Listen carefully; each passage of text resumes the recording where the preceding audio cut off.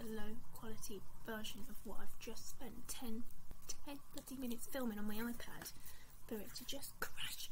Although, check that Yungblud sticker out. But basically, I just spent the last 10 minutes relaying the every detail of my first ever smear test.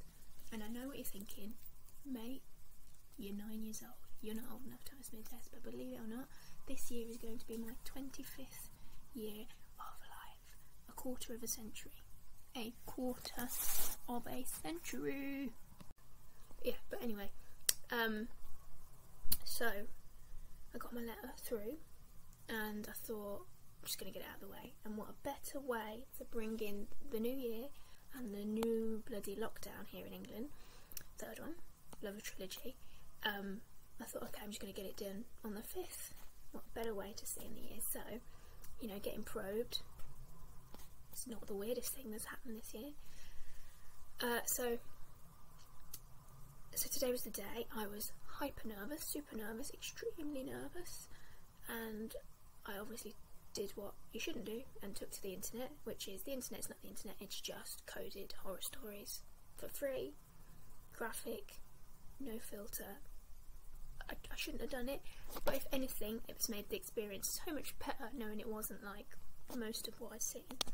But um, obviously, you see the tools they use showcased to you as if it's like props in a Saw movie, which again I'm pretty familiar with because I do love horror. That's why me and my cousin have our own horror themed podcast. Shout out to Boob. Shout out to you, Leah. Um, and then anyway, but then we prefer to watch horror rather than be the protagonist in any horror movie where we ourselves are the ones to be torn to shreds.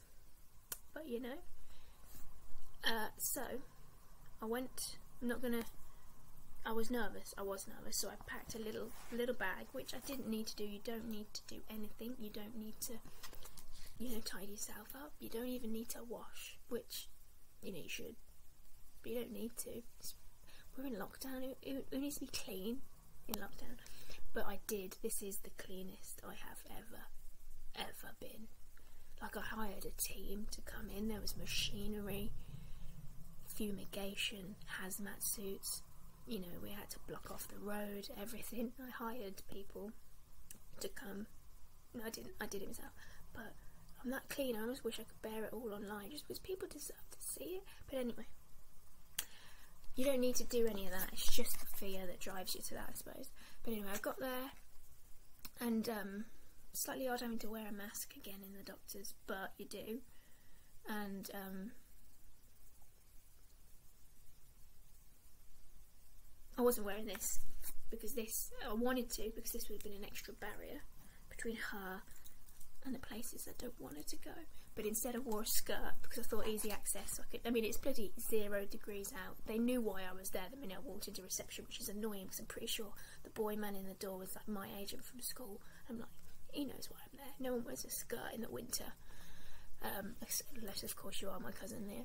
And um, so obviously, yeah, you walk in and she was really sweet. She was so lovely. I just had to check over a few details, and she said, right, just go behind the curtain just strip off, lie on the bed, get ready for me, and then tell me when to come in. And she's like, I've locked the door, I'm not locking you in, I'm locking the rest of the world out. And I'm like, yeah, trust me, they ain't gonna want to be in here.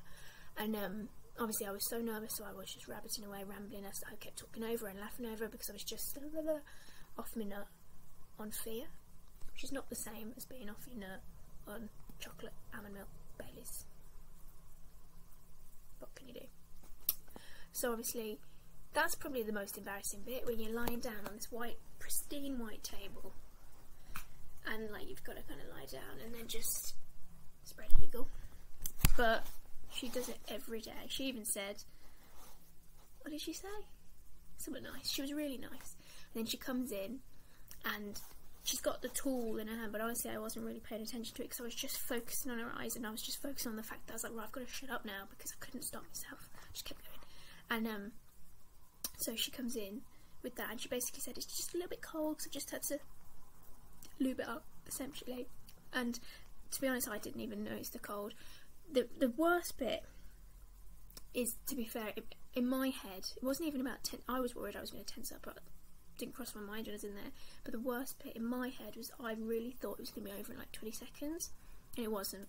It was at least at least a full minute, which is not long, but obviously in the moment it felt long. It's because it felt longer than I was expecting. But obviously she she puts this clamp in, which is not as you know, it's not like that at all. It's not a Muppets character. Hasn't got that pretty aesthetics either. Just but and it puts it in like she puts it in and I think it starts off like that and then they have to kind of wind it open. And that I didn't realise because I've not looked it's only from the research beforehand and what my mum said in the car that I knew of because like she didn't talk me through the process because obviously she didn't want to freak me out. And um she puts it in and it winds it open and then that takes longer than you realise and you can feel this kind of stretching. It just feels a little unnatural like someone's trying to blow up a balloon inside you. And then they've got this vagina toothbrush I suppose. They are their own form of lips. And that goes through the clamp like tube and up into you and it swabs and I could pretty much taste it. It goes a lot, it goes in further than you expect it to.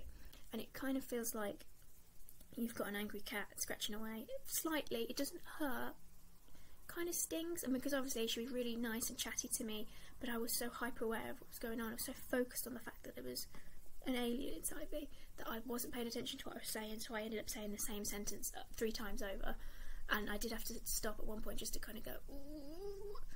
but um, but yeah, it didn't so much hurt. It was just uncomfortable. It just felt odd, slightly unnatural, kind of like you know you put you put in an object somewhere it's not meant to park, kind of like parking a tractor in a line of trolleys. You know that just doesn't. That's not where it goes. Or putting a boat on the moon, maybe. I mean, there was war on the moon, was there? was that mark? I can't remember. Oh God, space degree. Um, but it, yeah, and it doesn't hurt afterwards. Like I thought I was gonna sit up and the entire white bed was gonna be soaked with blood, but you do feel like you're. You do feel like even now I feel like there's some stuff going on, but um, I've just nicked a cup of tea and that goes right through me. So um, afterwards, she's like, she leaves you to it, and you just kind of wriggle your pants back on and then pull the curtains back, and you feel like it's the curtain drawer of shame, but it's not. She's just standing there with, and this poor woman, she has to see these every day. She's she's got to. I felt I wasn't afraid for me. I was afraid for her. She shouldn't have to see that. She's got to go home and have dinner with her family after this. She can't have tuna with her pasta bake tonight, not after, not after what she's been through. So she's a hero, really is, and uh, she was lovely. And basically, she was just she was just explaining because I asked her like, how often she needs to get blah, blah, blah, all that crap, just because I wanted to divert her attention away from what she's just done. And um, and then yeah, I waddled out of there because it doesn't sting. So I saw afterwards. It just feels kind of like, you know, you're gonna blister in your womb, chafing up there. I don't know, but it was odd. But it was